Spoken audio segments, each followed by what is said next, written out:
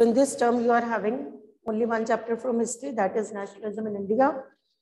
In this, first of all, this chapter started with how First World War created feelings of nationalism. You have done, अगर किसी को problem है तो आप पूछ सकते हो First World War से इंडिया में nationalism कैसे आया? Then Gandhi ji came to India during the years of the First World War. 1915 में इंडिया आए and before coming to India, he was in South Africa, which movement he launched your Satyagraha movement इस बार आपको one mark question शायद नहीं आने, आपको two marks ही आएँगे। तो टू मार्क्स में ये पूछा जा सकता है ना which movement was launch by Mahatma Gandhi in South Africa and why he launch this movement तो आपको पता होना चाहिए because in South Africa Indians were treated as blacks racial discrimination ठीक है?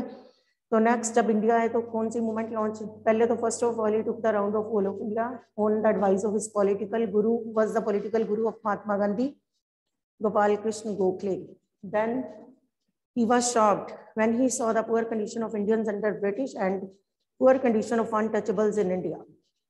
How they were treated badly by high caste Hindus. He decided to launch Satyagraha movement in India. Satyagraha का meaning आना चाहिए.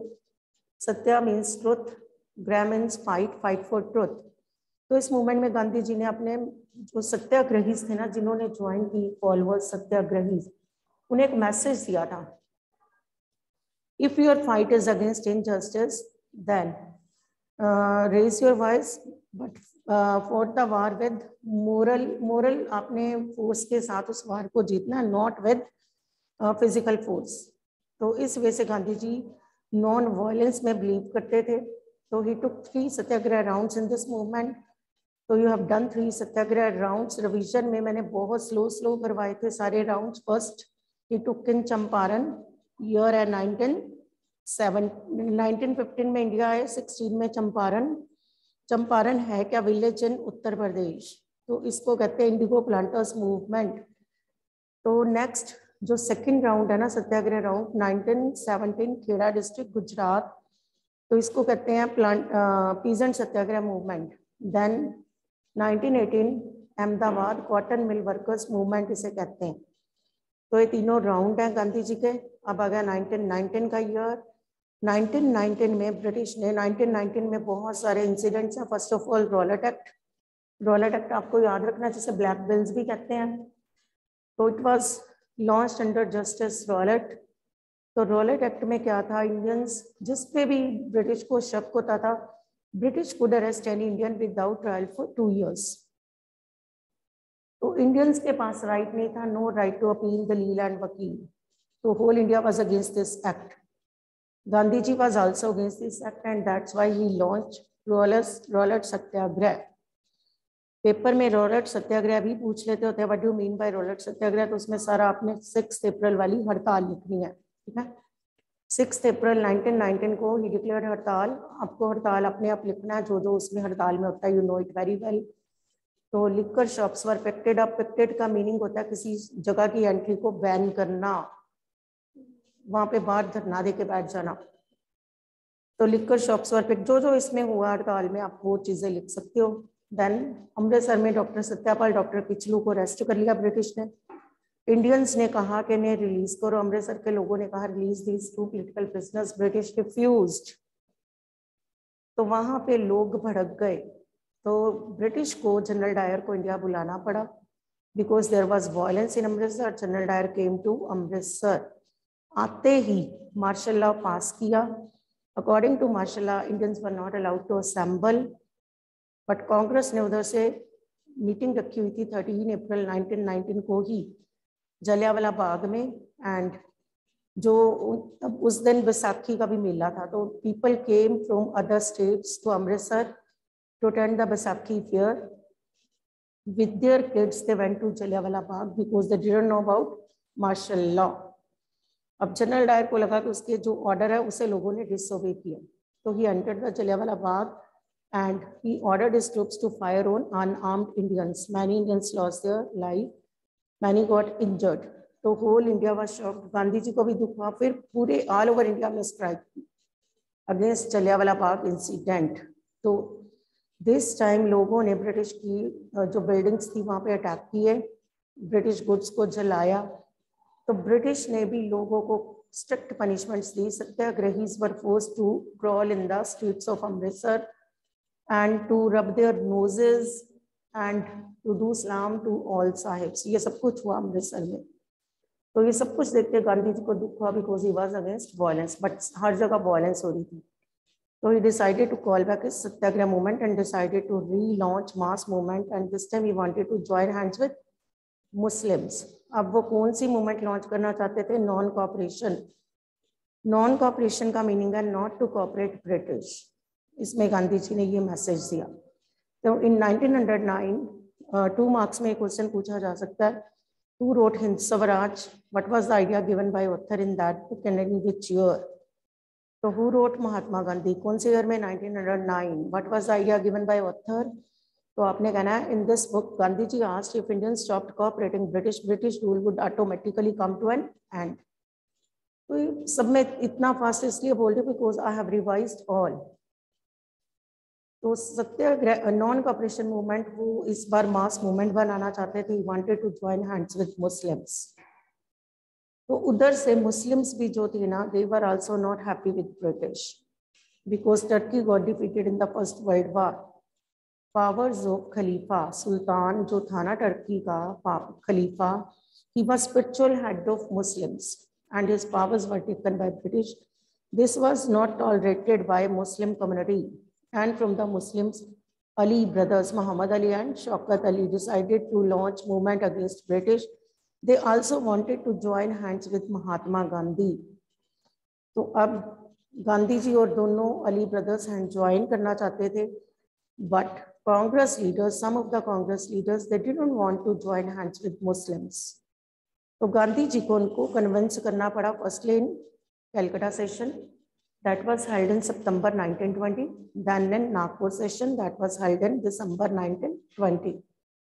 तो कांग्रेस लीडर्स जो थे ना, Nagpur session में मान गए।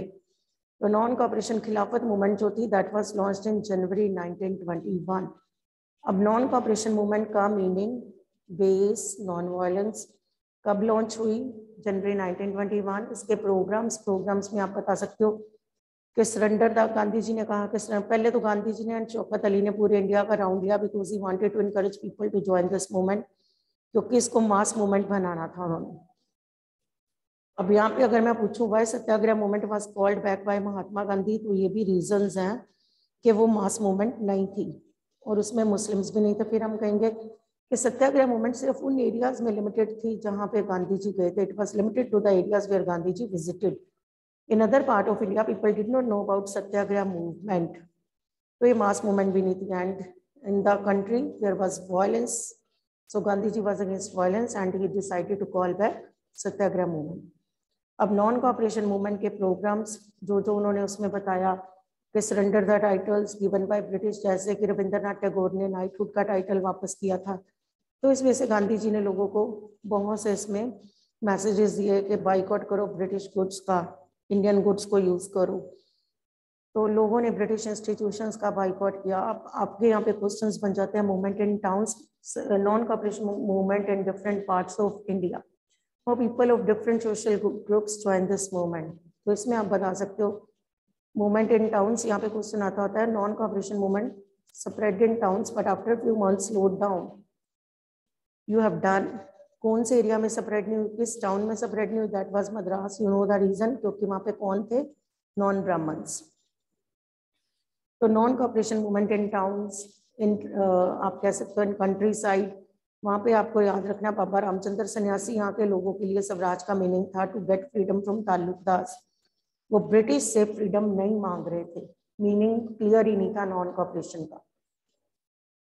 तो नेक्स्ट यहाँ पे एक और बात याद रखनी है, वो set up Oudh Kisan Sabha, Pandit Jawaharlal Nehru with Baba Ramchandra Sanyasi. Oudh Kisan Sabha was set up by Pandit Jawaharlal Nehru and Baba Ramchandra Sanyasi. Next movement in tribal areas यहाँ पे आपको अलूरी सीताराम राजू के बारे में याद रखना है कि यहाँ के लोगों के लिए स्वराज का मीनिंग सिर्फ़ इतना सा था टू कलेक्ट फॉरेस्ट प्रोड्यूस तो इट मीन्स ये लोग भी फ्रीडम नहीं मांग रहे। इतना सा कॉज लेके इस मूवमेंट में आ गए तो यहाँ पे अलूरी का नाम याद रखना है। और अलूरी वॉज़ कैप्चर्ड बिकॉज़ उसने पुलिस स्टेशन को आग लगाई थी। Was captured and executed in 1924 फिर आपको याद रखना है प्लांटेशन एरियाज़ प्लांटेशन एरियाज़ में आपको याद रखना इनलैंड एमिग्रेशन एक्ट 1859 में पास हुआ था। इस एक्ट के according Indians were not allowed to leave plantation areas they had they were enclosed there उनको वहाँ पे कैद करके रखा जाता था। They were not allowed to go back their homes तो इस वे से ये लोग जो थे, अब अपने घर जाना चाहते थे, क्योंकि वहाँ पे एक र्यूमर स्प्रेड हुई थी Gandhi Raj is coming and everyone would get land in his village अब प्लांटेशन एरियाज़ के जो लोग थे they wanted to go back their homes but they were not allowed by the British तो इस वजह से आप प्लांटेशन एरियाज़ को भी इस वजह से याद करोगे देन आ जाएगा आपका call back withdrawal of non cooperation movement मुझे लगता है मैंने यहाँ से करवाना था। Withdrawal of non cooperation movement call back भी कहते हैं। विदड्रॉल भी कहते हैं। Why Gandhi ji called back non cooperation movement तो आपने यहाँ पे बताना है वायलेंट इंसिडेंट अक्कड एट चोरी चोरा चोरी चोरा एक विलेज है उत्तर प्रदेश में। There people turn violent and अब ये कौन सी फेब मंथ 1922 को ये मूवमेंट वापस हुई थी। जनवरी 1921 में ये मूवमेंट लॉन्च हुई। फेब 1922 में ये मूवमेंट कॉल बैक कर ली। महात्मा गांधी ने रीजन क्या था? violent incident took place at Chauri Chaura Chauri चोरा विलेज इन उत्तर प्रदेश अब यहाँ पे क्या हुआ people turn violent they attack the police station set it on fire and 22 policemen lost their life 1922 22 policemen though they were british but this was not tolerated by mahatma gandhi and because he was against violence so he decided to call back this movement अब non cooperation Khilafat movement was called back by Mahatma Gandhi in February 1922 यहाँ पे एक mistake की कि didn't consult with Ali brothers who the active participants यहीं से alienation की feeling spread होती गई अमंग मुस्लिम्स तो तभी इंडिया का पार्टीशन हुआ था बाद में। तो this movement was called back by Mahatma Gandhi.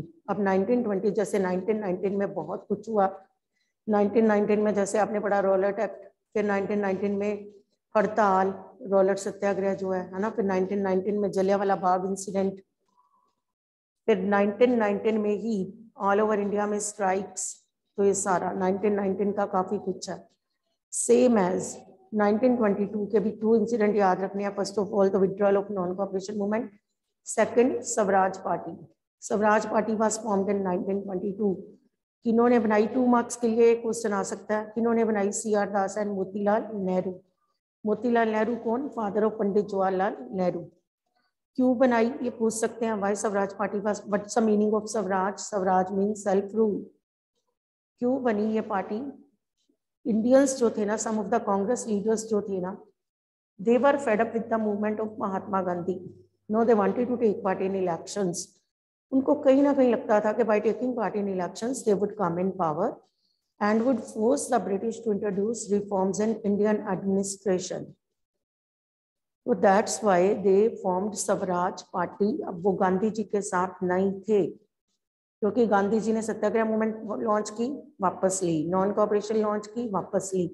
तो these people wanted to no wanted to remain with British but still young leaders Pandit Nehru, Subhash Chandra Bose देवर गांधी जी। तो इस वजह से स्वराज पार्टी आपको याद रखना है। नेक्स्ट आपका आ जाना है।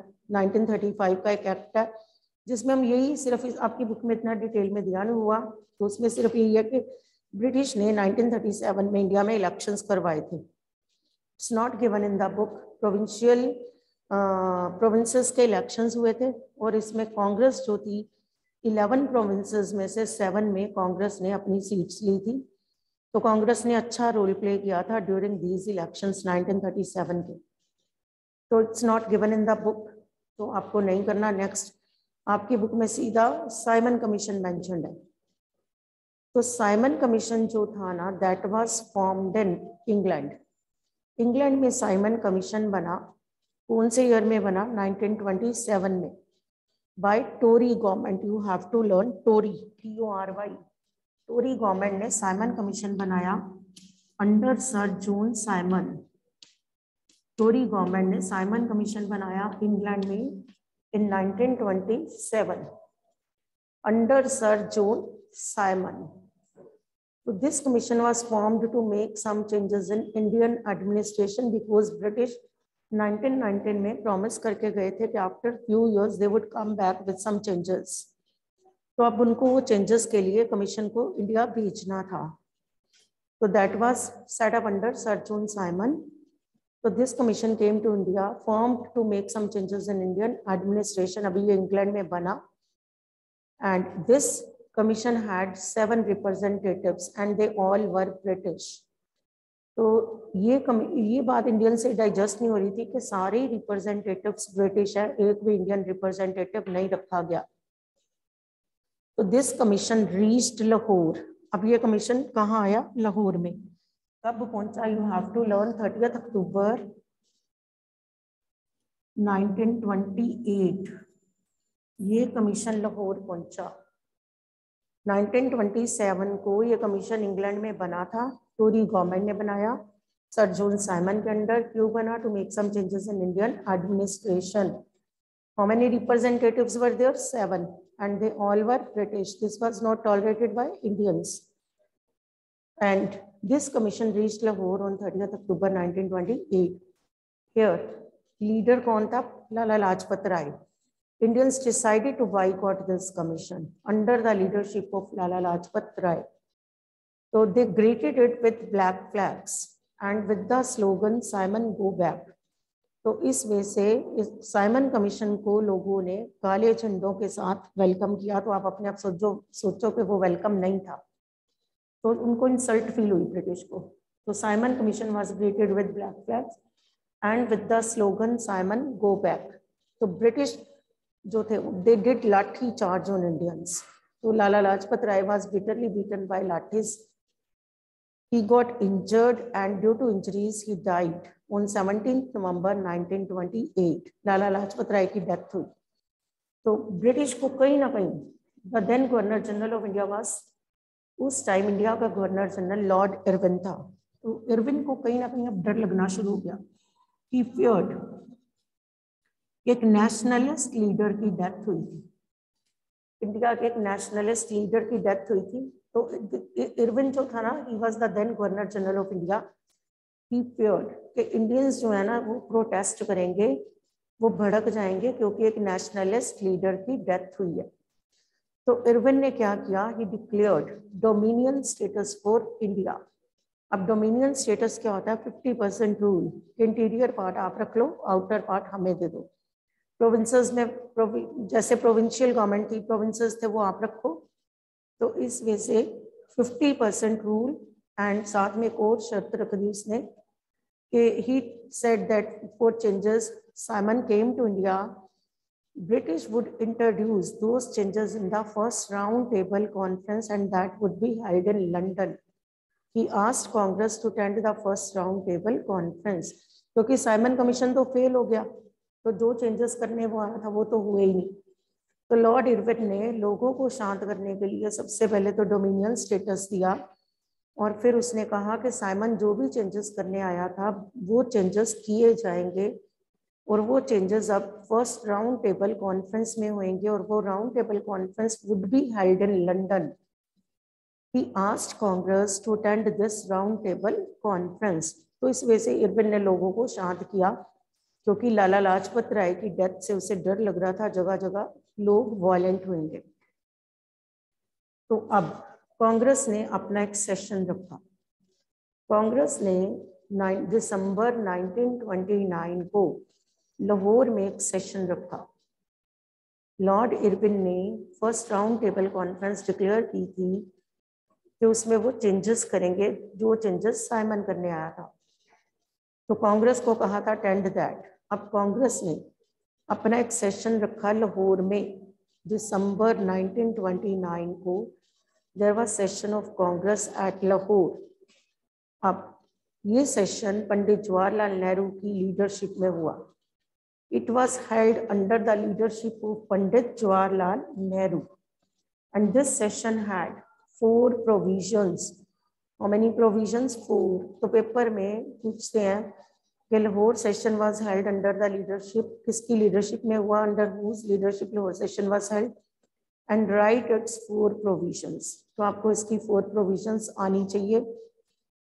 फ़र्स्ट ऑफ़ ऑल तो Congress demanded for the first time Congress demanded Purna Swaraj complete independence फिर सेकंड प्रोविज़न में आप कह सकते हो Pandit Nehru pledged twenty six January 1930 would be celebrated as independence day in the whole of India learn these provision for the first time Congress ने क्या मांगा? Purna Swaraj complete independence second for the फिर आप कहेंगे पंडित नेहरू ने pledge ली थी, कसम खाई थी 26 January 1930 would be celebrated as Independence Day in the whole of. Third provision थी कि थर्ड वो जो first round table conference lord Irwin ने डिक्लेयर की थी ना तो इन्होंने डिसीज़न लिया कांग्रेस लीडर्स ने डिसीज़न लिया that they would boycott that round table conference कि उसको अटेंड करने नहीं जाएँगे, उसका बाइकआउट करेंगे। तो फोर्थ प्रोविज़न थी कि फ्यू डिमांड्स गांधी जी की हैं। तो there are few demands of Mahatma Gandhi and British had to fulfil those demands otherwise Congress would launch civil disobedience movement under the leadership of Mahatma Gandhi तो ये सारी fourth provision you have to learn first at uh, उन्होंने first time क्या मांगा Purna Swaraj. Second pledge ली पंडित नेहरू ने कि 26 जनवरी 1930 वो क्या सेलिब्रेट करेंगे? Independence day in the whole of India third provision first round table conference का बाइकआउट करेंगे। किसने डिक्लेयर की थी? लॉर्ड इरविन ने।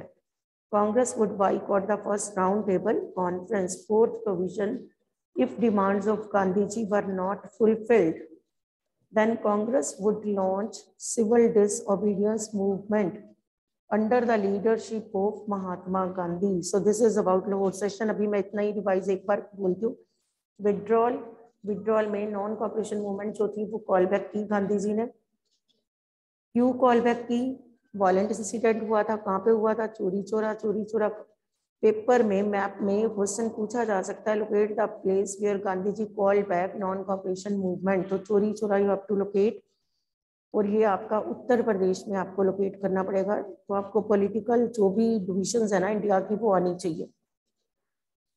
तो यहाँ पे मूवमेंट वापस हुई। How many policemen lost their life in this incident 22 policemen तो कौन से मंथ में ये मूवमेंट वापस ली फेब मंथ 1922 तो नेक्स्ट इसी मंथ इसी ईयर में 1922 में कौन सी पार्टी बनी थी? स्वराज। स्वराज का मीनिंग सेल्फ रूल किन्होंने बनाई? C R Das and Chittaranjan Das and Motilal Nehru. Why Swaraj party was formed because some of the Congress leaders No, they wanted to take part in elections. They didn't want to take part in the movements of Mahatma Gandhi. They wanted to take part in elections and they were on the view by taking part in elections, they would come in power and forced British to introduce reforms. उनको लगता था जो reforms Gandhi ji नहीं करवा पा रहे ना कि मूवमेंट लॉन्च करते थे वापस लेते थे तो उनको लगता था कि गांधी जी तो रिफॉर्म्स नहीं करवा पा रहे तो हम खुद ही रिफॉर्म्स करवा लेंगे बट अभी भी कुछ लोग गांधी जी के साथ थे तो Swaraj party then Simon commission किसने बनाया टोरी गवर्नमेंट कहाँ पे बना? इंग्लैंड इन 1927 क्यों बना? To make some changes in Indian administration तो इस कमीशन में हाउ मेनी रिप्रेजेंटेटिव सेवन सब सब कौन थे? ब्रिटिश तो this was not tolerated by Indians तो उन्होंने पहले से सोच के रख लिया कि जब भी ये कमीशन कमीशन इंडिया आएगा ना दे वुड बाइकॉट अब ये कमीशन लाहौर पहुँचा थर्टी अक्टूबर 1928 को। तो यहाँ पे लोगों ने लाला लाजपत राय की लीडरशिप में इस कमीशन का बाइकआउट किया। उन्होंने the greeted it with black flags and with the slogan Simon go back तो इस वजह से इस कमीशन को लोगों ने, आप कहोगे कि लोगों ने इसका बाइकआउट किया। तो ब्रिटिश जो थे ना, उनसे ये बात टॉलरेट नहीं हुई। उन्होंने लाठी चार्ज किया। तो इस लाठी चार्ज में लाला लाजपत राय को बहुत ज़्यादा कहते हैं कि उन्हें बहुत इंजरीज हुई and he died on seventeen November 1928 तो लाला लाजपत राय उस टाइम जब साइमन इंडिया आया तो the then governor general of India was Lord Irwin तो साइमन कमीशन तो फेल हुआ तो लाला लाजपत राय की डेथ भी हुई. तो लॉर्ड इरविन ने क्या किया declare dominion status for India and he also declared first round table conference and he asked Congress to attend that conference because for the changes Simon came to India, British would introduce those changes in first round table conference. तो यहाँ पे कांग्रेस ने एक session रखा लाहौर में you have to learn leader learn करना है month and year learn करना है दिसंबर 1929 किसकी लीडरशिप में हुआ? Pandit Jawaharlal Nehru. How many provisions were there four four की फोर प्रोविजंस आपको आनी चाहिए। फ़र्स्ट टाइम कांग्रेस ने क्या मांगा? पूर्ण स्वराज और साथ में आपको ये भी पता होना चाहिए कि पंडित नेहरू ने कौन सी प्लेज ली थी? 26 जनवरी 1930 को क्या सेलिब्रेट कर देंगे? Independence day in the whole of India और साथ में कहा कि फ़र्स्ट राउंड टेबल कॉन्फ्रेंस को वो अटेंड नहीं करेंगे। एंड गांधी जी की डिमांड्स पूरी नहीं हुई तो Congress would launch civil disobedience movement under the leadership of Mahatma Gandhi learn up till here आपने लाहौर सेशन तक आपको टिप्स भी होना चाहिए, एक एक टॉपिक